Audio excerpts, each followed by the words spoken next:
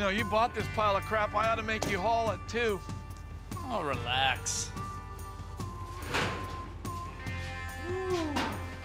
I thought this was a stinky locker, but Brandon thought it was worth 145 bucks. So now we got to go through it.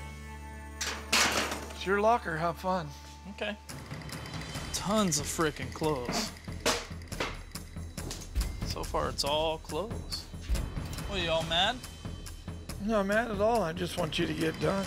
This is taking way too long. It's time for Papa Bear to dig in. That's Roxy Quiksilver right there. I'd like to seen this girl. She might have been right up your alley. Probably came right out of the alley. You're right. Some scrubs. Scrubs are cool. That's some right there.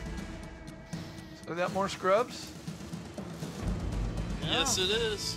You got your money back just on scrubs.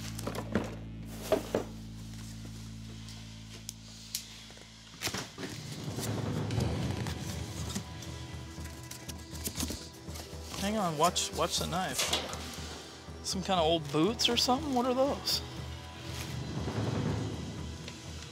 Check it out. Shelley Duvall from Popeye. Olive Oyl shoes. Are you me? Yes. There's a certificate of authenticity. Olive Oyl shoes from Popeye, Paramount 1980. Oh. Handmade brown suede lace-up boots. Yeah, I might think you might be onto something here because this certificate is all numbered and it's in a Shelley Duvall envelope and everything, Brando. Really? That's good. What did we pay for this unit? Buck fifty. I did good, huh? You did good. We're gonna have to get these Popeye shoes checked out, but I think my pops is gonna have to admit I got a good locker. We found some shoes that might be a prop from the movie Popeye. So we're gonna take them over to Dan at Premier Auction and we're gonna see if these things are legit or not. So these are the uh, the boots you guys found. Yeah. Okay. We're hoping you can maybe give us a little bit more insight on these things. Yeah, definitely.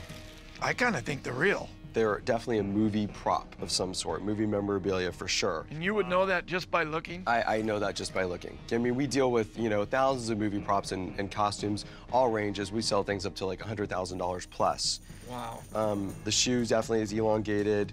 It's handmade, definitely. But the only thing, um, looking at this right now, is the sole. You see how it's kind of worn? Uh-huh. It's very peculiar because movie props usually aren't this worn. So I'm not, I'm not 100% certain. We really look at everything with a certificate of authenticity to know for certain whether an item is real or not. Otherwise, we just can't even sell it. So to give you a correct appraisal, would I would really have to have a certificate Really? with What it. What if I came up with one? Would you be able to give I, me would- correct I, I appraisal? could probably do that. Well, look what I happen to have right here. Ironically, in the bottom of the box, we have this. Why Okay, don't you take, take- a look and see a if look. that's real? Okay. Because I know sometimes they do fake authenticity. They, they do. They do. Absolutely. I'm gonna look and see.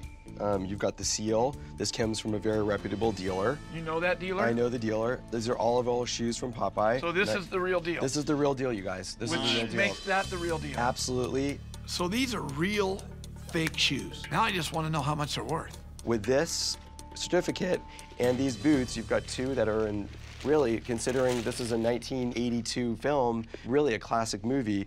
I would venture to say that we probably can get between 1500 and 1800. You guys did good? Yeah, let me tell you. I paid 100. Well, actually, I didn't even buy the locker. Brandon paid $145 for that locker. on $145 a for the entire locker? Absolutely. Yeah, for the entire. Yeah, you guys did. You guys did really, really good. Awesome. We just quadrupled our money, and that's exactly why we do this. Me? I may not have a lot of friends, but I got a lot of money. King of the world!